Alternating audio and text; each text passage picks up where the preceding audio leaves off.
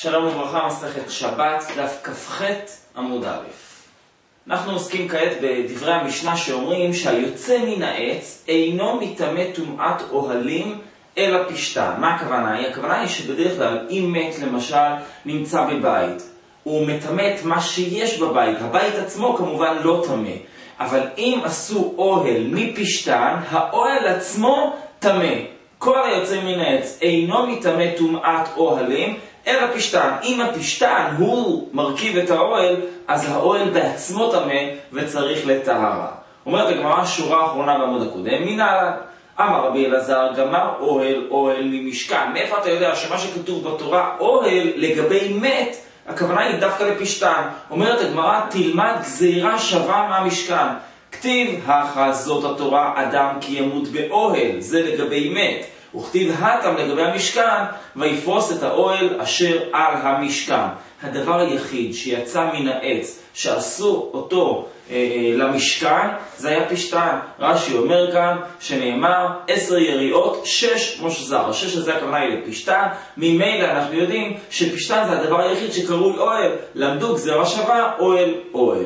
וכתיב אתם ויפרוס את האוהל על המשכן, מה להלן של פשתן קרוי אוהל, אף כאן של פשתן קרוי אוהל, ומה שהתורה אדם, אמרה, אדם כי ימות באוהל, הכוונה היא לפשתן. אומרת הגמרא, אם אתה לומד ממשכן, אז תלמד עד הסוף. אם מה להלן שזורים וחוטן כפול ו', אף כאן שזורים וחוטן כפול ו', הרי הרגע אמרנו שש מושזר, צריך שהם יהיו שזורים, וגם צריך שהם יהיו משישה חוטים, שישה חוטים שזורים. אולי אם אין שישה חוטים שזורים על, באוהל המת, גם אז זה לא מקבל טומאה, הרי אתה לומד אוהל אוהל ממשכן.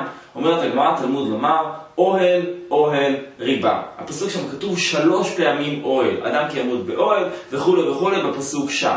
אומרת הגמרא, מזה שהתורה ריבתה אוהל, היא באה ללמד אותך שאומנם יש גזירה שווה לגבי פשתן, אבל זה אומר גם שזה בא ללמד אותך שלא צריך לא שזורים ולא שש חוטים כדי שזה יהיה טמא באוהל לגבי מת. אומרת הגמרא, אי אוהל, אוהל ריבה, אפילו כל מיני נמי. אתה אומר, אבל אם התורה כתבה כל כך הרבה פעמים אוהל, אולי היא באה לרבות שכל הסוגים של היוצאים מן העץ ובכלל יהיה מטמא לטומאת אוהלים. אומרת הגמרא, אם כן גזירה שווה מה יענה לי, אז בשביל מה אתה מביא גזירה שווה? אתה לומד מהגזירה שווה שזה דווקא פשתן, והריבוי של האוהל זה להוריד את השזורים ואת החוטים שהם צריכים להיות כפולים ו'.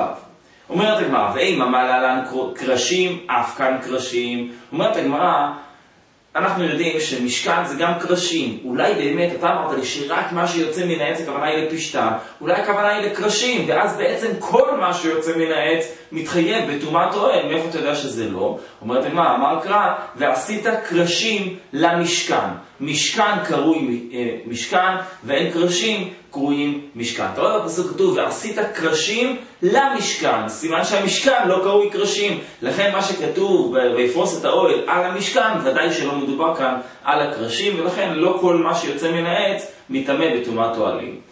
אומרת הגמרא, אלא מעתה אם אתה למדת, עשית לימוד כזה, ועשית קרשים למשכן, הכוונה היא שמשכן זה לא קרשים, אז גם כתוב כאן, ועשית מכסה לאוהל, הכנה ממכסה לא יקרה אוהל. אם אתה אומר לי שהפסוק מחלק בצורה כזאת, אז גם המכסה לאוהל לא קרוי אוהל, והרי המכסה זה האוהל. אנחנו יודעים, רק נגיד בקצרה, שלמשכן היו שלושה מכסים. זאת אומרת, היו לו שלושה סוגי יריעות שהיו אחד על השני. רש"י כאן אומר את כולם, היה לו בהתחלה את העשר יריעות שמחוברות בקרסי זהב, לאחריהם היה להם את היריעות העיזים, ומעליהם היה להם מכסה האורות. זאת אומרת, שלושה סוגי מכסים על המשכן עצמו. ואתה אומר לי שאחד המכסים הללו זה לא באמת הראשונים שהם ממש האוהל, אבל מעליהם זה לא נקרא אוהל.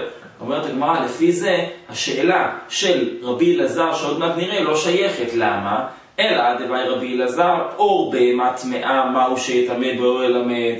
הוא שאל, האם אור של בהמה טמאה מטמא באוהל המת? אומרת הגמרא, רגע, אם אור של בהמה טהורה לא מטמא, כי הרגע אמרת לי שזה לא נקרא משכן, כי מה שהיה למעלה אמרנו זה האורות של העיזים, והאורות של העיזים היו המכסה, ואתה אמרת שהם לא נקראים משכן, ממילא הם לא מטמאים בטומאת אוהל. אומרת הגמרא, אז אם אור בהמה טהורה לא מטמא, ודאי שאור בהמה טמאה לא יטמא, השתא אור בהמה טהורה לא מטמא, אור בהמה טמאה מני בעיה? אומרת הגמרא, אתה צודק, באמת שם זה שונה. למה זה שונה? שאני התם דהדר ההדרי קרא.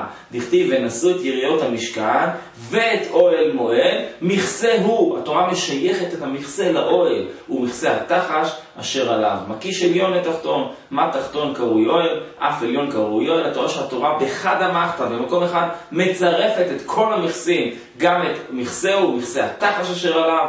היא שמה את הכל ביחד, סימן שהכל קרוי אוהל. אם כן, הקרשים לא נקראים משכן, ואנחנו יודעים שאוהל ומשכן זה אותו שם, רש"י מביא את זה פה כמה פעמים, בדיבור המתחיל, אף כאן קרשים, ואם הדעץ נמי יקרא אוהל, אומרת הגמרא, ומשכן יקרא אוהל, אוהל יקרא משכן, הקרשים לא נקראים משכן. וזו החלוקה בין המכסה לבין הקרשים, ממילא רק פשטן הוא זה שמקבל טומאה בטומאת אוהלים.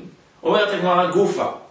באי רבי אלעזר, או בהמה טמאה, מהו שיטמא טומאת אוהלים? אומרת הגמרא, מה הוא בעצם מסתפק? ראינו את זה בקודם רבי אלעזר, במה בעצם הספק שלו?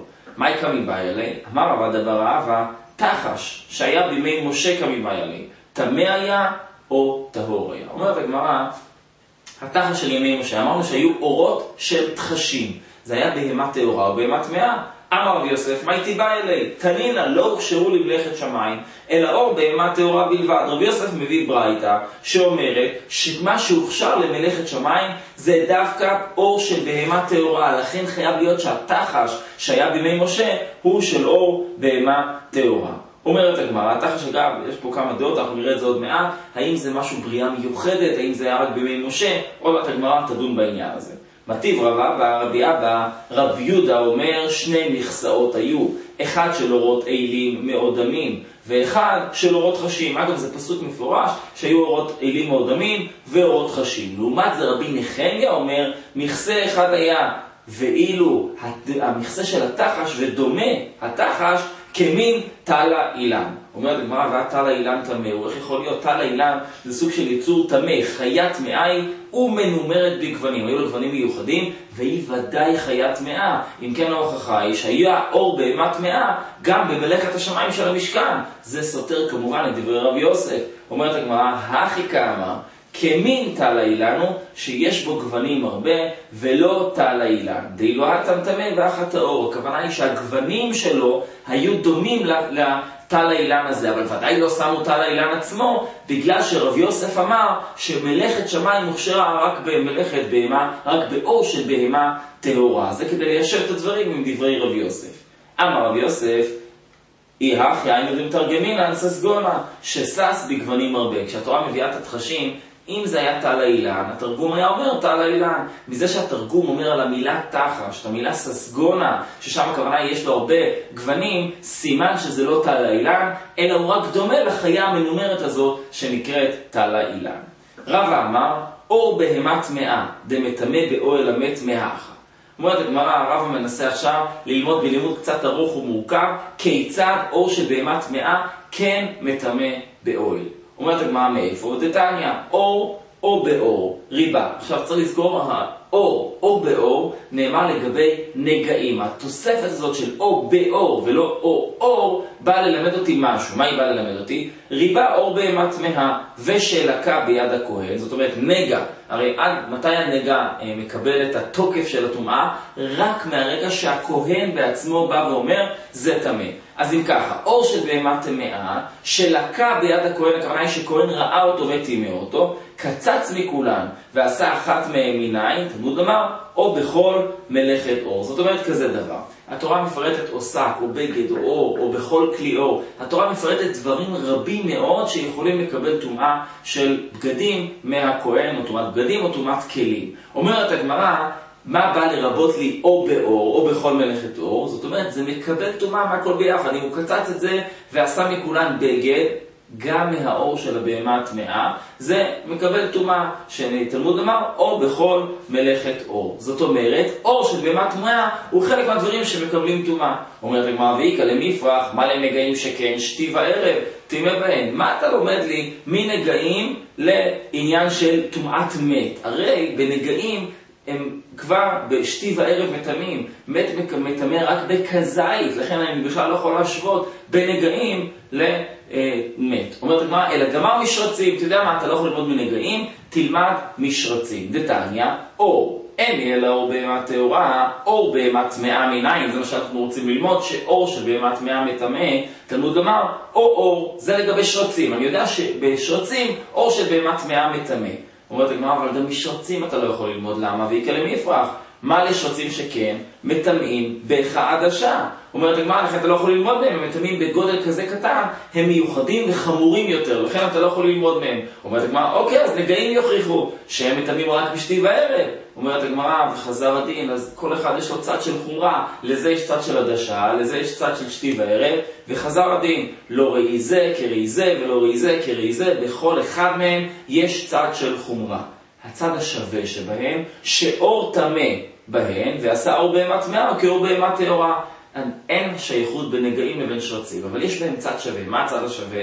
שאור בהמה טמאה מטמא בהם. סימן שבכל מקום אור של בהמה טמאה צריך לטמא. אף אני אביא אור ללמד שאור טמא בו, בו אור, ונעשה בו אור בהמה טמאה כאור בהמה טהורה. אומרת הגמרא מה הבעיה, תלמד גם מנגעים וגם משרצים ביחד. אתה לא יכול ללמוד מאחד מהם, כי בכל אחד יש צד חומרה. נגעים, יש את הצד חומרה של שתי וערב, שרצים בחדשה, אבל השווה שבשניהם זה שאור בהמה טמאה מטמא.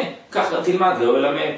אמר לרב, אומרת הגמרא, מברניש לרב אשי, איכא למפרח, מה לצד השווה שבהם? שכן טמאים בפחות מכזית, תאמר באמת שאינו מטמא אלא בכזית. טמא, בשביל שבאמת יטמא צריך שיהיה לפחות כזית. לכן אומרת הגמרא, זה הרבה יותר מעדשה ושתי וערב. שתי וערב ועדשה, אנחנו מחמירים בהם יותר. אז אולי כיוון שאנחנו מחמירים בהם, גם אור בהמה טמאה יהיה טמא בהם. אבל דבר שהוא קל, שהטומאה שלו היא רק מכזית, אולי אור של בהמה טמאה לא יהיה טמא בו. אלא אמר רב אמר מברניש, עטיה בקל וחומר, מנוצה של עיזים. נושא של עזים אמרנו זה בעצם האור והצמר של העזים. שאין מטמא בנגעים, מטמא באוהל המת, הוא לא מטמא בנגעים, אבל הוא כן מטמא באוהל המת. אור בהמה טמאה שמטמא בנגעים, אין עוד דין שמטמא באוהל המת. נוצר של עזים לא מטמאת בנגעים, אבל כן מטמאת באוהל המת. אור של בהמה טמאה שלמדנו ואנחנו יודעים שהיא מטמאת בנגעים, קל וחומר שתטמא באוהל המת שהוא יותר קל מנגעים, כמו שראינו עכשיו. ואלא דתניא רב יוסף, לא הוכשרו במלאכת שמיים, אלא אור בהמה טהורה בלבד למה היא הלכתה. אם אתה אומר לי עכשיו שאור של בהמה טמאה כשר למשכן, ובעצם אפשר לשים אותו שם מעל המשכן, אם כן, אז מה אמר רב יוסף? שלא הוכשרו למלאכת שמיים, אלא אור של בהמה טהורה. למה הוא התכוון? אומרת הגמרא, הוא בכלל לא התכוון לנושא היריעות שעל המשכן. הוא התכוון לתפילין. אומרת הגמרא לתפילין. אומרת הגמרא, מה, תפילין אנחנו יודעים, תפילין בהד הכתיבו, למען תהיה תורת השם בפיך, לגבי הפרשיות, מן המותר בפיך. אומרת הגמרא, אלא לאורן. אומרת הגמרא, לא הכוונה היא ל... אה, ל לפרשיות עצמם, אלא לאור שלהם שממנו עושים את הפרשיות. אומרת הגמרא, ואמר אביי האישין, ש... אור הכוונה היא לא האור של הקלף, הקלף זה המותר בפיך, ברור לנו שזה צריך להיות מאור של בהמה טהורה. אבל אולי לבתים של הפרשיות, אולי אותם מותר לעשות מאור של בהמה טמאה. אומרת הגמרא, בשביל זה למדנו את העניין של כל מה שמלאכת שמיים זה רק באור בהמה טהורה. את זה הוא בא לחדש כיוון שזה לא כתוב בפסוק. אומרת הגמרא, ואמר אביי האישים של תפילין הלכה למשה מסיני. אומרת הגמרא, גם על הבית הרי יש שין של תפילין, ואילו אביי אומר במפורש שהשין של התפילין זה הלכה למשה מסיני. לא בגלל מה שאמר רב יוסף שלא הותרו למלאכת שמיים, אלא אור של בהמה טהורה, אלא בגלל הלכה למשה מסיני. ממילא הוא לא אמר את זה על בתי התפילין. אלא לכורחן בשערן ולתופרן בגידן. לכרוך את הפרשיות בשיער של בהמה טהורה ולתופרן בגידים של בהמה טהורה. לתפור את הבתים עצמם אחד לשני בגיד של בהמה טהורה. אז אולי את זה, בשביל זה בא אמר רב יוסף את העניין של בהמה טהורה. הוא אומר גם זה הלכה למשה מסיני. הנמי הלכה למשה מסיני. הוא דתניא, תפילין מרובעות הלכה למשה מסיני, נקרחות בשערן ונתפרות בגידן, כל זה הלכה למשה מסיני. אז על מה אמר רב יוסף שלא הוכשרו למלאכת שמיים אלא אור של בהמה טהורה, אלא לרצועות, שהרצועות עצמם יהיו מאור של בהמה טהורה. אומרת הגמרא ואמר רבי יצחק, רצועות שחורות הלכה למשה מסיני, אז הנה גם הרצועות הן הלכה למשה מסיני. אז מה יעשה, מה נעשה עם דברי רבי יוסף? אומרת הגמרא, תדייק, ני דגמירי שחורות, טהורות מגמירי. טוב, את העניין של הרצועות שהן שחורות, למדנו מהלכה למשה מסיני. אבל את עניין זה שהם צריכים להיות מאור של בהמה טהורה, זה למדנו מדברי רבי יוסף. אומרת הגמרא, מה יהא והלאה דתחש היה במי משה? נו, אז מה זה התחש הזה? זה חיה או שזה בהמה? אמר רבי לה, אמר רבי שמעון בן לוי, אומר היה רבי מאיר, תחש היה במי משה, בריאה בפני עצמה היה. לא חיה ולא בהמה, אלא בריאה בפני עצמה. ולא הכריעו בה חכמים ממין חיה או ממין בהמה הוא. וקרן אחת הייתה לו במצרו, הייתה לו קרן במצרו, ולפי שעה נזדמן לו למשה ועשה ממנו משכן ונגנז. אותה חיה הייתה מיוחדת לאותו הזמן, עשה ממנו את המשכן ונגנזה אותה חיה. או בהמה, אנחנו לא יודעים. מלכאמר קרן אחת הייתה לו במצרו, שמע מינה טהור היה. מזה שהייתה לו קרן, אפשר ללמוד שהוא היה טהור. מאיפה יודעים? ואמר רב יהודה, שור שהקריב אדם הראשון, קרן אחת הייתה לו במצרו, שנאמר, ותיטב להשם משור פר, מקרין מפריס. אומרת הגמרא, הנה אתה רואה שהיה לו שור פר, מקרין, מפריס, אומרת הגמרא, זה הייתה לו קרן, אומרת הגמרא, מקרין? תרתי משמע, מקרין זה פעם, זה שניים, הייתו לו שני קרניים, למה, למה אתה אומר שהייתה לו קרן אחת? אמר רב נחמן בר יצחק, מקרין כתיב, בלי יוד, מקרן, ולכן אפשר ללמוד שהייתה לו קרן אחת. ולפשוט מיני דמין בהמה, הוא אומר הגמרא, אם אתה קורא לזה שור, אז תגיד שזה כבר בהמה, כיוון דאיכא קרש, דמין חיה, ולית ליל אחד הקרן, כי אנחנו לא יודעים מה זה בדיוק, יש איזו חיה שנקראת כך, והיא, יש לה קרן אחת, איכא למימר מין חייהו. אומרת הגמרא, יכול להיות שזה באמת חיה, יש חיה שיש לה קרן אחת במצח, והיא מין חיה, אנחנו לא יודעים לפסוק האם זה מין בהמה, כמו השור והפר של אדם הראשון, או שמא זה חיה, כמו החיה שאנחנו מכירים, שיש לה רק קרן אחת במצחה. אומרת המשנה, פתילת הבגד שקיפלה ולא הבהבה. קיפלה הכוונה היא לגדול פתילה מזה, אומר רש"י, לעשות מזה פתילות, זה נקרא לקפל, והבהבה זה כבר השלב שמסיים את תהליך עשיית הפתילה, שאתה שם אותה באש והיא ראויה להדליק בה. עכשיו, פתילת בגד שקיפלה ולא הבהבה, אומרת הגמרא, רבי אליעזר אומר, טמאה היא ואין מדליקים בה טמאה היא, כיוון שהקיפול לדעתו לא מבטל אותה מתורת בגד, ולכן היא יכולה לקבל טומאה, אבל לא מדליקים בה, והגמרא תברר למה אסור להדליק בה, מה הבעיה להדליק בה? ואילו רבי עקיבא אומר, טהוראי, הקיפול כבר מסיר ממנה את שם הבגד, כיוון שעשית ממנה כבר פתילה, גם אם לא הבהבת, מותר להדליק בה. אומרת הגמרא, בישלמה לעניין טומאה, אני מבינה את המחלוקת לעניין טומאה. בהפליגי דרבי אליעזר סבר קיפול אינו מועיל, זה לא מוציא ממנו את שם הבגד אם רק קיפלת את זה לשם פתילה. ובמילתא קמייתא קיימא והיא קיימת במילתא הראשונה, במה שהיא הייתה, היא בגד ויכולה לקבל טומאה. ורבי עקיבא סבר קיפול מועיל וביטולי באטיל, זה שעשית מזה פתילה, ביטלת מזה שם בגד וזה לא מקבל טומאה. אלא לעניין הדלקה במאי פליגי, מה הבעיה להדליק בדבר שמקבל טומאה? אמר רבי אלעזר, אמר רבי יושעיה, לכן אמר רב עדה בר אהבה, הכה בגימל על גימל מצומצמות עסקינן. מדובר בבגד כזה שיש לו בדיוק שלוש על שלוש אצבעות, שזה הדבר, הגודל המינימלי בשביל לקבל טומאה. וביום טוב שחל להיות ערב שבת עסקינן. מדובר ביום טוב שהוא חל להיות בערב שבת, ואתה עכשיו רוצה להדליק נרות שבת, אבל מדובר ביום טוב, אז מה הבעיה? אומרת הגמרא, דחולי עלמא איתלאו דרבי יהודה, דאמר מסיקים בכלים ואין מסיקים בשברי כלים. יש פה שתי הנחות יסוד שצריך לדעת על המחלוקת בין רבי אליעזר לרבי עקיבא. דבר ראשון, שיטת רבי יהודה. הוא אומר שמותר ביום טוב, שחל בערב שבת, להסיק בכלים, אבל אסור להסיק בשברי כלים שנשברו ביום טוב. זה נולד, יש פה דין נולד, ואסור להדליק מזה נר לשבת. אסור להשתמש בזה בכלל, ודאי גם אסור להדליק בזה נר לשבת. והם מסכימים בעוד משהו, במה הם עוד מסכימים? ודחולה, היית לו דעולה. דאמר אולה, המדליק צריך שידליק ברוב היוצא, כדי שתהיה השלהבת עולה מאליה, כמו במנורה במקדש, שמזה אנחנו לומדים הרבה מדיני הדלקת נר שבת. אומרת הגמרא, צריך שהשלהבת תהיה עולה מאליה. איך עושים את זה? צריך שהוא ידליק את רוב הפתילה שיוצאת מהשמן. אם הוא מדליק מעט מדי זה לא טוב, זה לא פתילה עולה מאליה. הוא צריך להדליק את רוב הפתילה שמעל השמן. עכשיו אנחנו מזכירים שזה שלוש על שלוש אצבעות מצומצמות, מדובר בפתילה קטנה מאוד. אז מה המחלוקת? אומרת הגמרא, המדליק, דאמר, אולם מדליק צריך שידליק ברוב היוצא מן השמן. רבי אליעזר סבר קיפול אינו מועיל, וכיוון דעתיק בי פורתא, הביא על שבר כלי, וכי כמדליק בשבר כלי כמדליק. רבי אליעזר אומר דבר פשוט, עכשיו יום טוב, עוד רגע שבת. אתה רוצה להדליק בפתילה שעשויה מבגד של שלוש עד שלוש אצבעות. עכשיו, ברגע שאתה, הוא אומר זה עדיין נחשב בגד, ברגע שאתה שורף מקצתו, הוא כבר הפך להיות שבר של כלי, שבר של בגד, בעצם יוצא שאתה מדליק בשברי כלים, כלומר שאתה חייב להדליק ברוב היוצא. אתה צריך להמשיך ולהדליק, אז בעצם אתה מדליק בשבר כלי, וזה אסור, כיוון שהוא מקבל את דעת רבי יהודה. לעומת זה מה רבי עקיבא סובר, ורבי עקיבא סבר קיפול מועיל, ואין תורת כלי עליו, הדבר הזה הוא לא בגד. וכי כמדליק בעץ בעלמא כמדליק. אמרתי מה, ולכן ממילא כיוון שזה לא בגד, מותר לך להדליק איך שאתה רוצה, זה לא שבר של כלי, לא שבר של בגד, ומותר להדליק בו. אמר רבי יוסף, היינו דתנינא, ג' על ג' מצומצמות, ולא ידענה למה הלכת הרב יוסף פה נפתרה לו שאלה גדולה, אמרו לו שיש משנה אחת שעוסקת בבגד שהוא שלוש על שלוש אצבעות, הוא לא ידע איזה משנה זאת, עד שהוא הגיע לכאן, למד את זה ושמע את זה מהם, והבין שזאת המשנה המדוברת.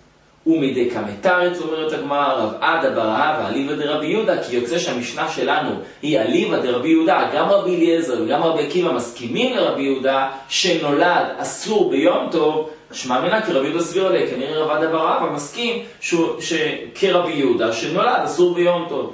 ומי אמר רב עדה ברבא אחי? והגמרא תשאל על שיטת רב עדה ברבא, האם הוא באמת אומר שנולד אסור? הגמרא תברר את זה בדף הבא. עד כאן.